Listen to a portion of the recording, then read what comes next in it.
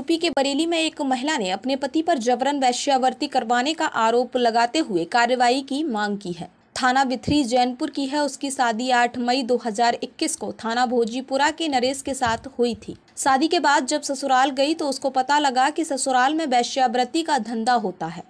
शाम होते ही अनजान लोग इधर उधर से आने लगते हैं। मेरे कमरे में भी कुछ अनजान लोग आए, मुझसे हँसी मज़ाक करने लगे तो मैंने इसका विरोध किया। मेरा पति कोई काम नहीं करता और लोगों का कर्जा लेकर खाता रहता है। उसने मुझ पर भी जबरन वैश्यावृत्ति करने का दबाव बनाया। मैंने इसका विरोध किया तो एक दिन वो मुझे अपने साथ शहर ले गया। वहाँ उसने अपने दोस्त के कमरे में मुझको ठहराया और पहले मेरे पति ने मेरे संग गलत काम किया, फिर अपने दोस्त से भी करवाया। आरती ने इसका विरोध किया तो उसके पति ने उसको घर भेजने की धमकी दी और कहा कि अपने पिताजी को जाकर बता दे, मेरा कोई कुछ नहीं बिगाड़ सकता। महिला गंदे दलदल में जाना नहीं चाहती, लेकिन उसका पति उसको मजबूर कर रहा है।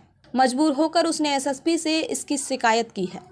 मेरी शादी अटामाड़ा से हुई थी, भोजीपुरा, और मेरे घर वाले लोग सही नहीं हैं, और मुझे पता चला इस बारे में तो मैंने उनसे कहा तो उन्होंने मुझे मारा पीटा।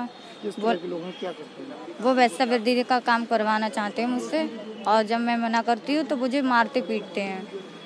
और मेरी ननद है तो दस साल से बैठी हुई है अपने ससुराल नहीं जाती है और वो भी कहती है कि जो जैसा मैं कर रही तू भी कर क्या जाता है कुछ बुराई नहीं है इसमें सभी ऐसा काम करते हैं।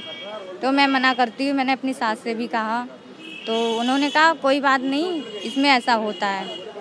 और अब मैं हाँ? बोलते हैं मुझसे ज़बरदस्ती करवाना चाहते हैं ये काम और मैं मना करती हूँ।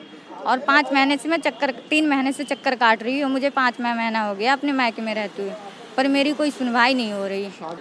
ये शादी के पंद्रह दिन के बाद मुझे पता चला ये लोग कैसे हैं। और शादी के दो तीन दो तीन महीने के बाद मुझे बरेली लेके गए थे बहन के यहाँ कह के कपड़े दिलाने के लिए। तो मुझसे वहाँ पे भी ये सब करवाया। जब मैंने मना किया तो वहाँ पे मुझे मारा, पीटा।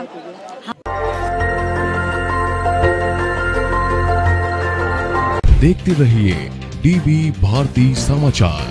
नज़र